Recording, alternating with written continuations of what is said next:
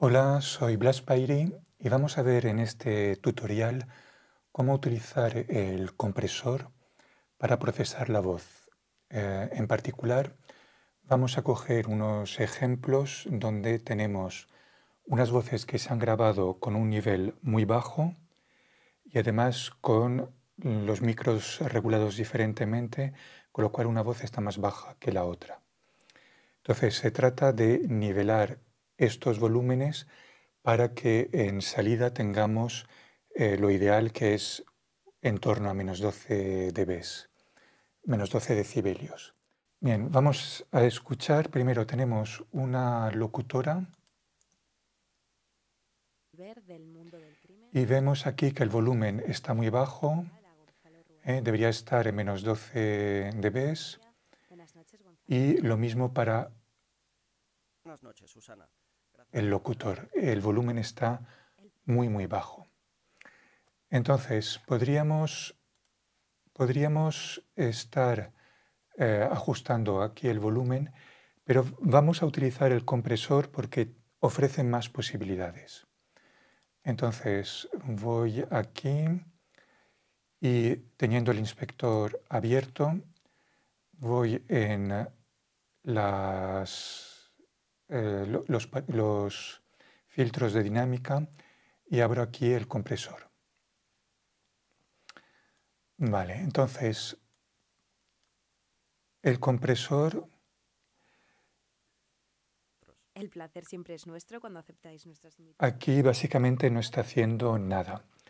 Es decir, lo que hace un compresor, si vemos aquí el gráfico, es eh, buscar eh, los niveles que estén por encima del umbral, el threshold, y todo lo que esté por encima lo comprime con un cierto ratio. Es decir, eh, cuanto mayor sea aquí el ratio, aquí es 2, entonces todo lo que esté por encima del umbral va a dividirlo por 2. Si tuviésemos un ratio de 4, pues lo divide por 4. Pero la cuestión es que el volumen está tan bajo que no llega a ese ratio. Entonces vamos a bajar un poco el, ratio, pero el threshold, pero aún así no, no llegamos, con lo cual vamos a subir los asesinos, los tratamientos psicológicos y además es un gran aficionado a los crímenes sin resolver. Eh, ya hemos subido el nivel de entrada con lo cual ahora sí que llegamos al threshold.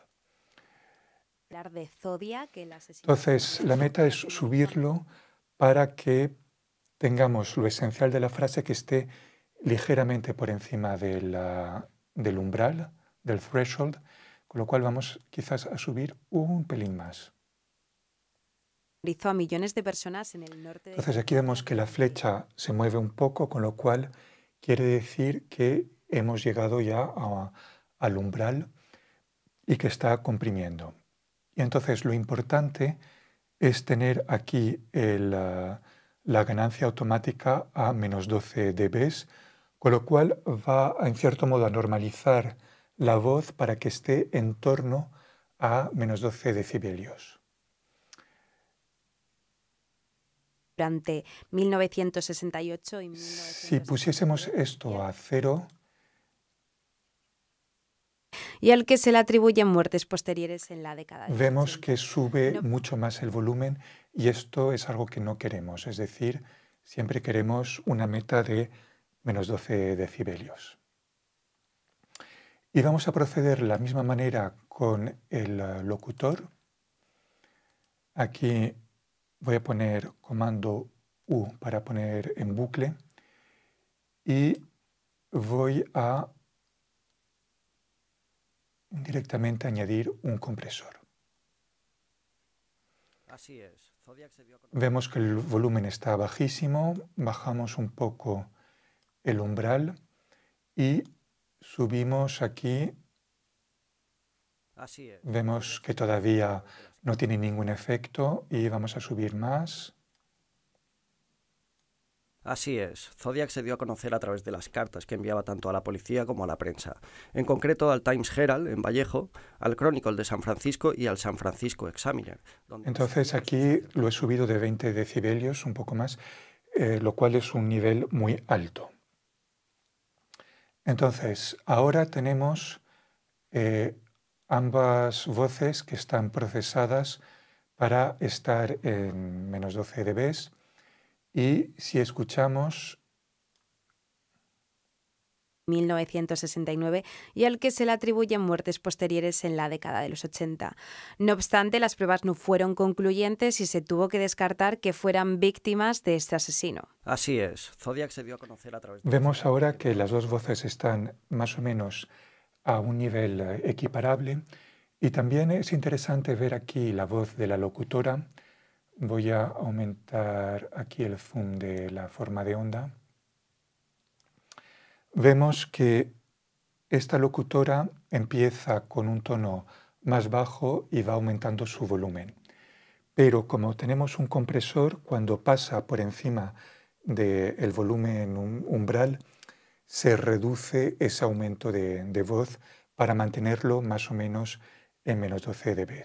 Pero de todas maneras, como vemos que hay cambios en la dinámica, vamos a aplicar un ratio mayor, quizás de 4, y aquí también, con lo cual ahora los aumentos de, de voz van a estar más reducidos. 1969 y al que se le atribuyen muertes posteriores en la década de los 80. No obstante, las pruebas no fueron concluyentes y se tuvo que descartar que fueran... Vale, pues entonces hemos visto que con el compresor no solamente eh, restringimos el rango dinámico para estar siempre cerca de 12 dB, de menos 12 decibelios, sino que además a través de la ganancia de entrada podemos subir el volumen hasta llegar a una cierta compresión. En general, toda voz debe tener un poco de compresión porque nunca sabemos si va a haber un salto en la voz o, cualquier cosa. Eh, entonces, incluso con un locutor profesional que maneja muy bien su nivel, vamos a poner un compresor.